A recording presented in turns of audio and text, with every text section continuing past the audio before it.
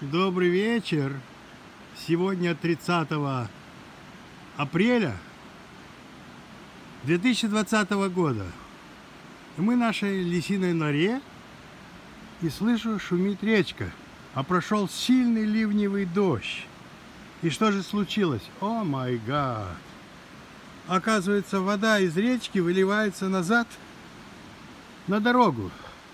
И вплотную подошел к нашему драйвею. Мне пришлось загнать машину. Что же делать? Как же быть? Ну, красиво.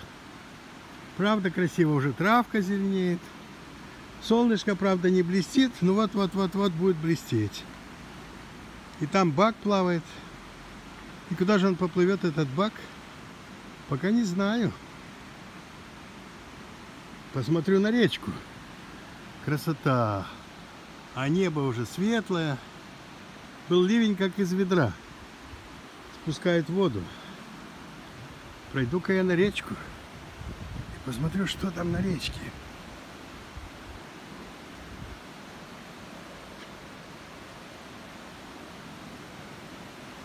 Красотуля! Сколько сейчас там рыбы, представляешь? С нашего водохранилища спустили воду. А как она летит! Ух ты!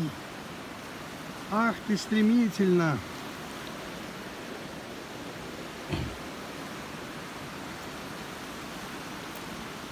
Да, столько воды я видел только в прошлом, а может быть позапрошлом году. Смотри, какая прелесть. Прелесть, но, слава богу, слегка вылилась только на дорогу. Здорово. И красиво. И здорово.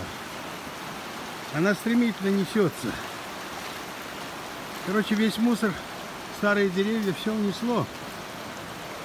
А здесь даже не пройти. Нормально. Хм. Но красиво. Солнце уже заходит. Где-то там. Ой, красотища какая. Ну, воды много. Смотри, почти через верх уже идет.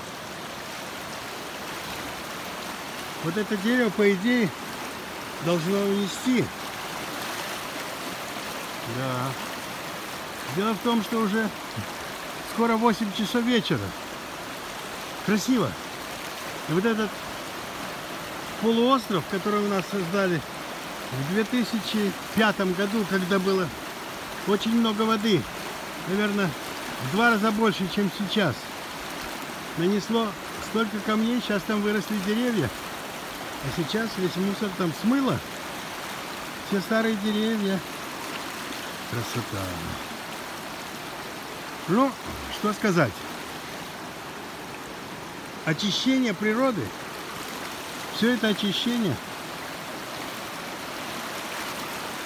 все будет хорошо, сказали, сказал царь Соломон. Все будет прекрасно и красиво.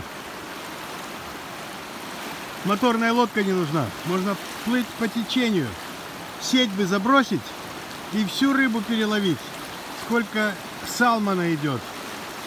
И форели. Ха-ха-ха. Ну хорошо, пойду немножечко пройдусь и посмотрю, что там дальше.